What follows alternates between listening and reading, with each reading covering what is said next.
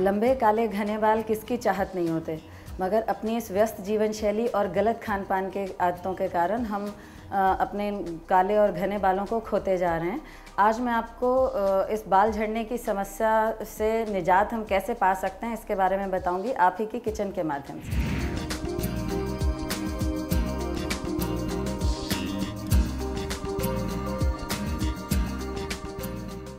जो इंटरनल पोषण की हम बात करें तो आयरन और कैल्शियम की कमी जो है वो मेन वजह होती है बाल झड़ने का। और इसको पूरा करने के लिए हम कैल्शियम की कमी को पूरा करने के लिए हम मिल्क और दूध और नारियल का सेवन कर सकते हैं। दूध और नारियल का सेवन हमारी बॉडी की कैल्शियम की कमी को बहुत हद तक पूरा करता है। आयरन की हम बात करें तो आयरन की कमी को पूरा करने के लिए हम पालक का सेवन कर सकते हैं गाजर का सेवन कर सकते हैं और सेब।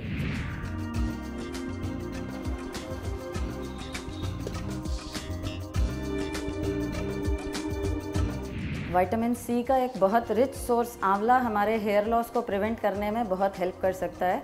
आंवले को हम आ, कच्चा भी खा सकते हैं और बॉईल करके भी खा सकते हैं।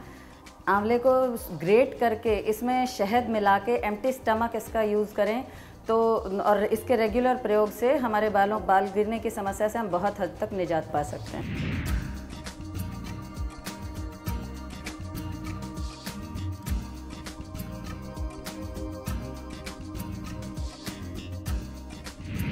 अब हम बात करते हैं एक्सटर्नल न्यूट्रिशन की। जहाँ एक्सटर्नल न्यूट्रिशन की बात आती है तो बालों को झड़ने से रोकने के लिए हफ़्ते में एक बार मसाज, हेड मसाज बहुत ज़रूरी है। ये मसाज हम किसी भी तेल से कर सकते हैं। सर्दियों में हम जैतून का तेल यूज़ कर सकते हैं और इसके अलावा हम महाभृंगराज तेल, जो एक आयुर्वेदिक तेल है, उसका इस्तेमाल कर सकते हैं।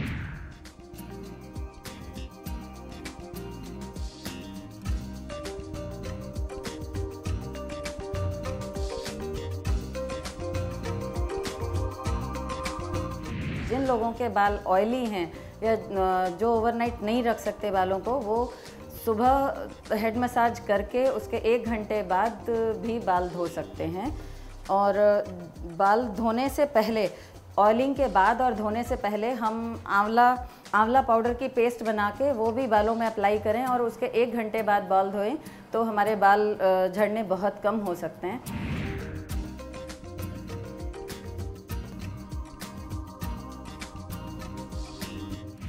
और बाल धोने के लिए हम अगर शैम्पू की जगह आंवला, रीठा और शीकाकाई, इसका पेस्ट बना के बालों में लगाएँ और उससे बाल धोएँ या फिर उन्हें रात भर भिगो के रख दें और सुबह उस पानी से बाल धोएँ तो वो हमारे शैम्पू की कमी को पूरा कर सकता है और विदाउट केमिकल्स प्योर हर्ब से हमारे बाल बहुत साफ़ और बहुत हेल्दी रह सकते हैं।